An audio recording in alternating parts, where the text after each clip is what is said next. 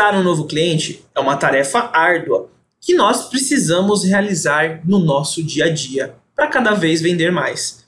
Pensando nisso, nós criamos o radar de clientes OMIE, onde você busca as empresas que acabaram de nascer, ou seja, aquelas empresas que acabaram de ser criadas.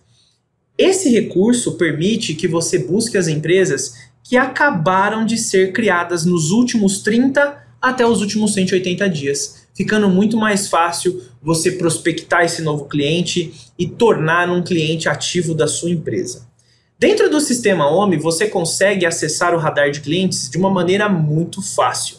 Acessando o seu módulo CRM, vendas ou serviços, passando o mouse em cima do módulo, você tem aqui exatamente o radar de clientes para você acessar, tanto num dos três módulos.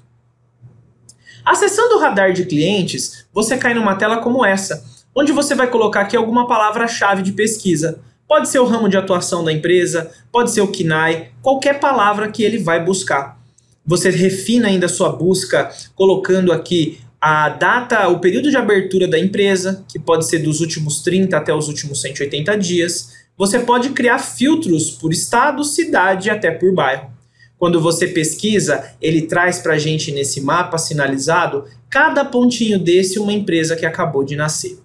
Trazendo esse mapa com o zoom mais para frente, olha só quantas empresas novas acabaram de nascer que eu posso começar a prospectar. Clicando exatamente em cima do ponto, você cai numa tela com todas as informações desta empresa. Olha só que bacana! Ele traz o nome fantasia, a razão social, o CNPJ, a data de ativação dessa empresa, o capital social, o endereço completo, inclusive eu já posso clicar aqui para traçar uma rota, o endereço, os telefones e e-mail e até o KNAI dessa empresa.